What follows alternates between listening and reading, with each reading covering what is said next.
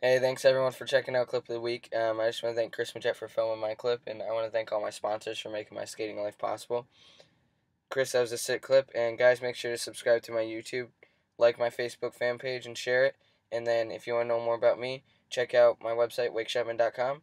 And guys, make sure to stay tuned for next week's Clip of the Week. See ya.